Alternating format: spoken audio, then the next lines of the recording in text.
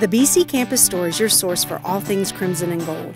Our campus owned and operated store focuses on meeting the needs of students, parents, fans, employees, and other friends of the college, whether they be in search of the latest school spirit fashion, a stadium seat, or a graduation frame.